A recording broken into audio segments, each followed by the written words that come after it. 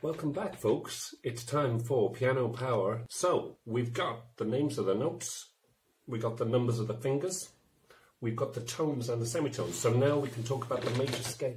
So the major scale is a pattern made of tones and semitones, and the pattern is tone, tone, semitone, tone, tone, tone, semitone. If we follow that pattern, starting on any note, we will get the major scale. Let's do it on C. So C we go up a tone, which is two steps, takes us to D. We go up another tone, which is two steps, takes us to E. Remember our pattern is tone, tone, semitone, tone, tone, tone, semitone. So we've got tone, tone, semitone, tone, tone, tone, semitone. So it's all the white notes to get this scale.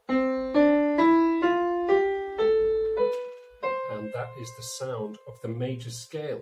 The way we play it is with our five fingers and we play one, two, three, and then our thumb goes under and we have one, two, three, four, five.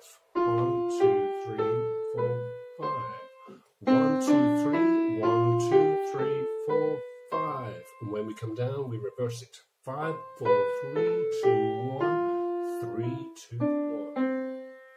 If we build a major scale on any note other than C, we have to start using black notes. Let me just show you the G major scale.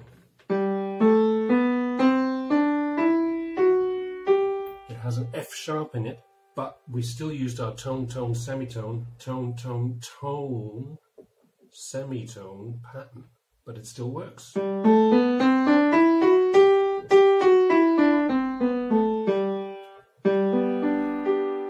That's the end of this Piano Power Tiny Time Bubble for now. See you later.